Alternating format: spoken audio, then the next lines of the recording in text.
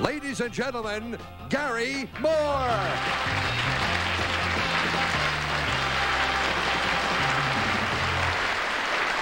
Thank you very much. Thank you, Bill Wendell. All right, friends. One of the most popular pageants in American history now is the Miss America Teenage Pageant. We seldom get a chance to see Miss Teenage America up as close as we'd like or to hear from her. But that's going to be our privilege in just a few minutes because she is going to be our first contestant here on the Tell the Truth as soon as we say hello to our teenage panel here on the Tell the Truth. Jack Cassidy. Peggy Cass. Orson Bean. And Kitty Carlisle.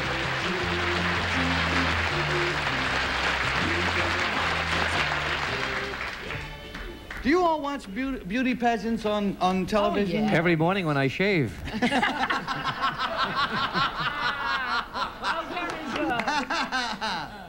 Excellent, excellent, excellent. We have with us, right at this very moment, behind that curtain, and here we go, Miss Teenage America.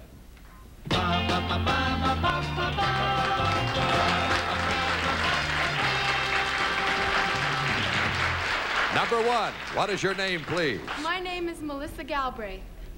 Number two. My name is Melissa Galbraith. Number three. My name is Melissa Galbraith. Now, only one of these, of course, is the real Miss Teenage America. The other two ain't chopped liver, I'll tell you that. but here is the story. It goes like this. I, Melissa Galbraith, hold the title of Miss Teenage America. This annual contest is in no sense a beauty contest. One is judged strictly on the basis of scholastic achievement and awareness, talent, poise, and appearance. Initially, girls from 13 to 18 years of age compete in local pageants or they enter the National Candidate at Large program. At the finals, most of the judges are former teenage American contestants. Winning the coveted award entitles me to a year of travel, shares of stock in American industry, and a four year, $10,000 scholarship to the college of my choice. Signed, Melissa Galbraith.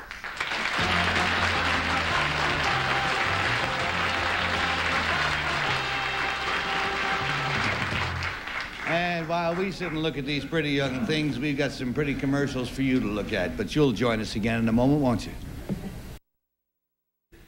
We have three absolutely charming young gals over here. They all say that they are Melissa Galbraith, who proudly holds the title of Miss Teenage America. We'll start uh, the question with a man who I believe has a teenage son of his own, Mr. Jack Cassidy. Thank you, Garry. Well, he's practically in his teens. Um, number three, uh, where was uh, the contest held that you won in your local area? It was held, well, I, there wasn't one in my local area. I entered the candidate at large program. Oh, you didn't have to win any uh, preliminary contest. Not a contest, no. I see. Number two, um, uh, how don't you do you not think it's unfair that the the age bracket is from 13 to 18? Don't you feel you're competing with larger ladies? No, I don't. I Mhm. think it's fair. You do. Number one, you agree? Yes. Well, you're all going to say that. Of course you are. Thank you, Jack Peggy. I know. Number three, what qualifications do you have to have to be a candidate at large? You just kind of, I mean, the whole world could enter. Well, they're the same, the same qualities that everyone else has. It's just that you do it by mail. Oh, I see. Number two, what kind of marks did you have in school? If scholastic achievement counts, you must be pretty good. Yes, you must maintain a very, fairly high average. Like what? What would be the average? Um, A minus, B plus. Thank you. Uh, number one, where are you from? Clarion, Pennsylvania. Where? Clarion. Clarion, Pennsylvania. And number three, where are you from? Cottage Grove, Oregon. And number two, where are you from? Lorain, Ohio. Ah, girls from big metropolises, I see. Number one, it says here that you're going to get 10,000, some, a lot of money, uh, shares of stock in American industry. Do they pick the stocks or do you? They pick the stocks. And they pick, I suppose, conservative. And they don't want to And that buzzer takes us on to Mr. Bean. Yes, since the advent, uh, I'll ask this is number three of, of uh, the girls having to have a skill such as demonstrations of handicrafts, crocheted bas reliefs of David Cassidy for use as placemats, things like that. Did you have the skill beforehand that you had, or did you dream one up when you wanted to get into the contest? No, I had, well, you know, I sing and play the guitar. Oh, and yeah. I've, I've done that for Number about one- five years. Yeah, all right. Number one, did you do whatever you do? Yes, our school had the play Fiddler on the Roof, and I sang a medley of songs from Fiddler on the Roof. Uh, number two, what's the women's lib position on beauty contests or beauty and or talent contests? Do you happen to know? No, I don't. What's your position on women's lib, number two? Um, I Just don't, interested. Has nothing to do with the spot. I don't like. I don't agree with it. Some Ah. of the things. And we're going to go to Kitty Carlisle. Thank you. Number three, what did you have to wear? Well, these outfits that we're wearing, we wore during the, the pageant. Thank you. Number two, how did you get to the finals? You have to um, go undergo um, examination, and then you, the um, eight finalists, are picked at a convention center. Thank you. Number one, where is the convention center? It's in Fort Worth, Texas. And number three, when you traveled for that year, who chaperoned you? My mother. And uh, number one, did you were you allowed to wear makeup for the finals? You were allowed to wear it, but it was stressed to look as natural as possible. And number two, what did you wear? Did I wear makeup? Yeah. Yes, I did, just a little bit. And number three, where did you travel during that year? Well, I haven't traveled yet. Oh, you just No, got it. Yeah. Oh, I see. Number two, who financed this? It was sponsored by. It was sponsored by the Ding Dong Company. and we're going down to Jack Cassidy. Yes, well, I, uh, I'm hurriedly writing. No, it's. Uh, matter of fact, I, I, I've loused things up here because I forgot to say we've got to take a look over here while you all give you a chance to mark Oh. your ballots. Only fair. So the audience and I'll take a look again at number one. And at number two. And at number three. And by now, we've had a chance to make up our minds. And so, Jack, you start your vote. Well, I wrote, I wrote down number one, which means I voted for number one, evidently. I voted for number one. Uh, I like the way the lady is sitting. She looks like she's, she's been sitting on, waiting on tender hooks. for David's address. It'll do Go it ahead. to you. Oh, you got a one going. Peggy. Well, I think they're really all adorable, but number one looks like a contest winner to me, so I voted for her too. And besides, she comes from Ohio. Lots of pretty girls in Ohio. That's quite true. Winners. No, she doesn't. She comes from Pennsylvania. Clarion, Pennsylvania. But a lot of oh, pretty Oh, well. girls come from Sorry, number Ohio. two. We got a pair of ones in Orson. Indeed, number one does come from Pennsylvania, the state that produces the most beautiful women in the world. My wife. wife, for instance. Your My wife. Yes. However, I was forced to vote for number three because there's something about her that just got in it's a, a hunch. All righty, so there you go. And Kitty, how are you coming? Well, that's interesting. I voted for number two because I think Ohio produces presidents and pretty girls, and I think it's she. Well, we got them all up and down here. Somebody's got to be right, somebody's got to be wrong. Well, the real Melissa Galbraith, Miss Teenage America, please stand up. There you go, Melissa.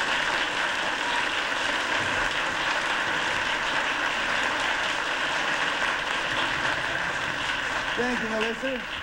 Number two, pull into your microphone and tell us about yourself. Tell us what your name is and like My that. real name is Ann Gannon. I'm a sophomore at Bronxville High School in Bronxville, New York. Hey, nice job. And number three? My name is Lisa Edmondson. I'm a senior at the Convent of the Sacred Heart in New York City. Ah.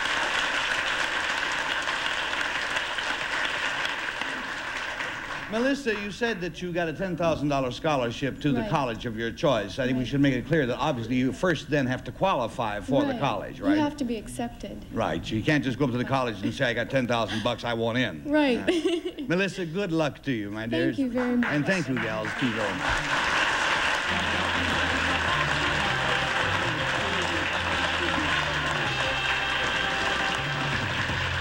Was a happy spot. Three more outgoing young people you'll never meet, but uh, as a tremendous change of pace, there does seem to be an enormous amount of pressure on young people today, and one of the sad byproducts is a rising adolescent suicide rate.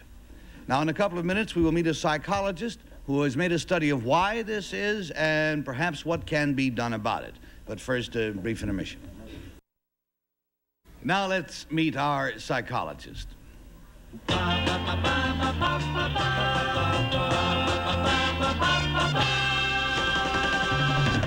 Number one, what is your name, please? My name is Pamela Cantor. Number two. My name is Pamela Cantor. Number three. My name is Pamela Cantor.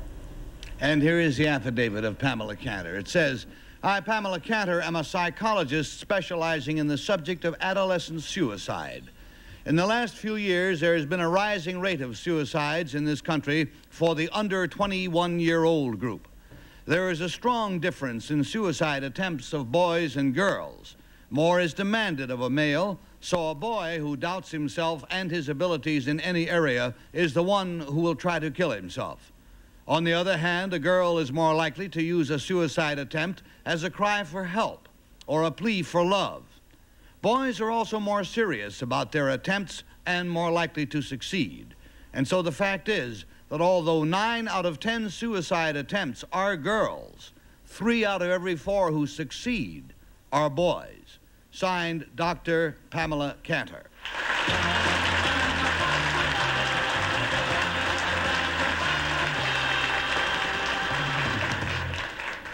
And Doctors Cantor, one, two, and three, I will turn you over to Kitty Carlisle. Thank you. Uh, number three, uh, do you feel that this rise in suicide rate is drug related? No, I don't.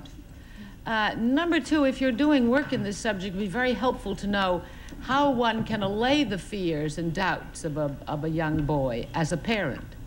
I think, first of all, that you have to listen to him as, as much as you possibly can, and you also have to teach him how to express his doubts.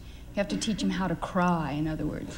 Number one, do you agree with that? Yes. Is there anything else you can do? Well, keeping open the lines of communication is everything. Yeah, well, thank you. Number three, how do you, how do you encourage a boy to feel more self-confident when there are perhaps realistic reasons why he should doubt himself? I suspect that if there are realistic reasons why an individual should doubt himself, he will get that from others. You, as the family members, as the parent, have to instill the self confidence from very early infancy. Thank you, Kitty. Let's go on Jack Cassidy. Yes, uh, Doctor number two. Uh, most recently, there's been a minister who supports uh, the theory that suicide should be organized or contained. Do you know the name of the minister, number two? No, I really don't. Number I'm three? sorry. No, I don't. Number one? I'm sorry. Um, well, he's in trouble, and so am I. number number one. Uh, what's what country has the largest uh, percentage of suicides in the world? Well, Sweden does statistically, yes. Uh-huh. Uh Number three. Can you detect uh, suicidal? Uh, the tendency for suicide in, in someone above the age of seven, for instance? Uh, there are signs that one might look for, if that's what you mean, but we really don't know what characteristics predispose one towards suicide. Uh-huh. Um, thank you. Thank you. And let's take a, uh, let's go to Peggy, please. Thank you. Number one, at how early an age do children, I mean, what is the earliest that children even contemplate suicide? There have been suicides under the age of eight, although they're not statistically reported to the government. Any suicide happening under that age is reported uh, as a death by another cause, but we know it because notes have been left. Thank you. Number two, do they prosecute people who try to kill themselves and, uh, and do not succeed? I think that depends upon the state you're talking about. Oh, I mean, I don't know. I, I don't know about the, the answer at all. Do, in other words, There are some- some states that do have prosecution. Thank yes. you. Well, number one, after all, not every kid is going to be a great basketball player or a great brain. I mean, most people are just average. So why do they expect? Why do they expect more of themselves than they can actually do? It stems from feelings of worthlessness, basically. Is that Uh, because they're not on the same level as the top guy? I Some mean- of, I can't say this, we don't know. Well, I mean, why would somebody feel worthless? I mean, you can look around. A lot of people less wor- more worthless than you are. Yes, but uh, their parents may not have thought so. Oh, you mean the parents would make them try to make them overachievers? Okay, Peggy, thank you. And we're going to go to Orson for the last one. Yeah, let me ask this of number two. I, I find it strange that in an age when there seems to be less pressure on a young boy to achieve than ever before, the, the new age of consciousness three and the greening of America, there's a rise in suicide rates of young people. I don't find that strange at all, neither do any of my colleagues. I think when you find more permissiveness, um, it puts more pressure on the individual to perform by his peers. As well as by his parents. Well, number two, number three, if the peers are so-called dropouts, which is the old people's complaint about the young people, why is the rising suicide rate attributable to pressures to succeed?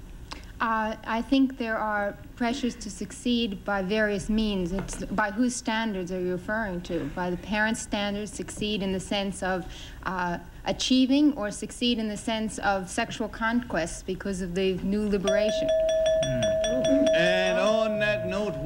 Must consult within ourselves and come up with a number, which we put on a ballot, and that number must be a one, or a two, or a three. This one's tough. Kitty, have you marked your ballot? I voted for number three. I wish she hadn't mentioned sexual conquest at the very end because that mixed me up.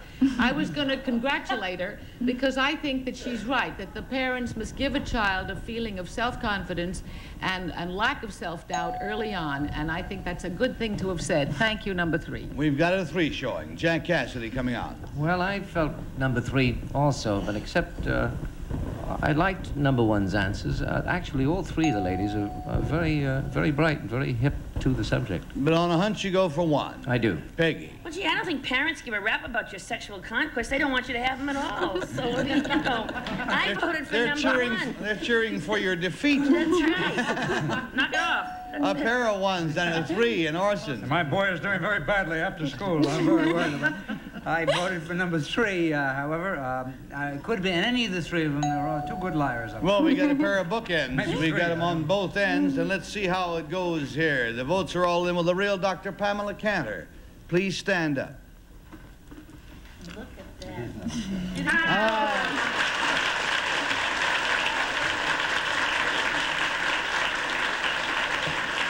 Thank you, Dr. Cantor. In a moment, we're going to turn Dr. Cantor over to our studio audience, but first we want to find out who our contestants, who our imposters were. Number one, what is your real name, please, and what do you do? My name is Irene Silverman. I'm a housewife and the author of a book on working women, Nine to Five and After. Hey there.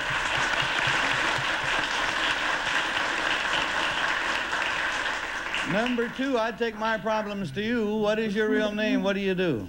My real name is Angeline Forbes, and I play electric bass with a brand new rock group called Meadow. How about that?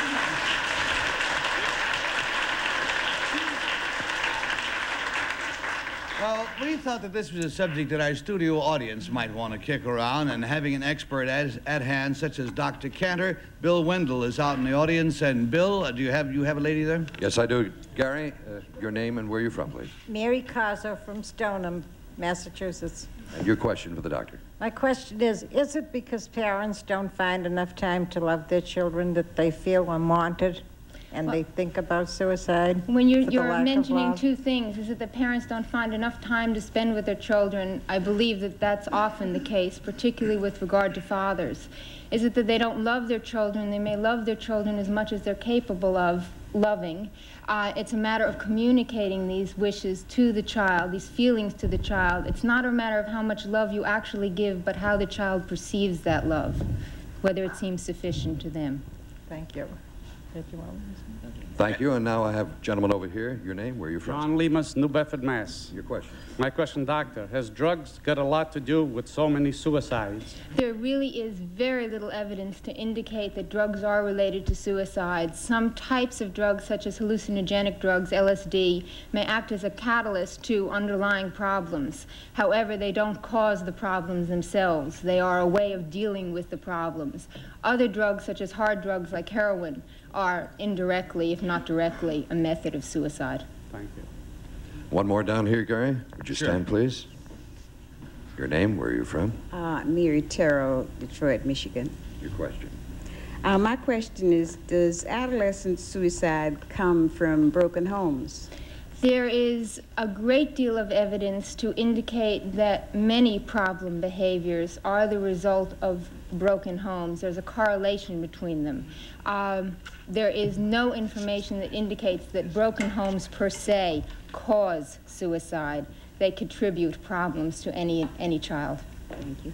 Thank you, Bill. I've saved uh, a little time for one more question from me, uh, Dr. Cantor. Uh, is it possible, you know, now they start, kids start testing for, for colleges and schools way earlier than they did in my day. Is it because we have somehow robbed them of their adolescence? We're trying to make grown-ups of them too fast? We've hit upon a very important point. We've extended adolescence past the psychiatric definition, which is ages 11 to 21. Mhm. We have furthered education to the point that individuals have to stay in school until they're almost 30.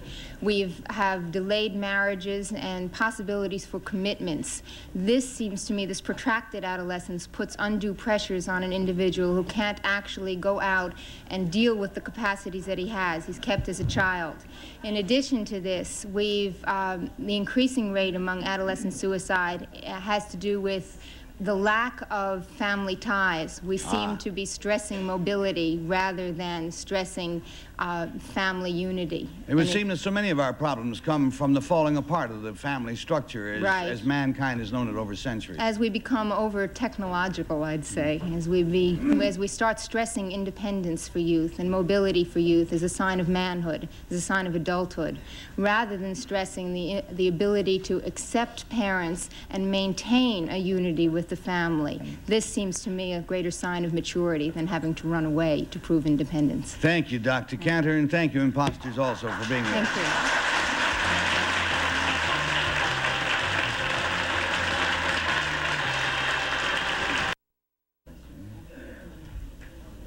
Uh, I, I, I know- I know, but we're up to our eyeballs in discussion over, over here. We've got a whole clinic of our own going here as to what's causing this whole thing.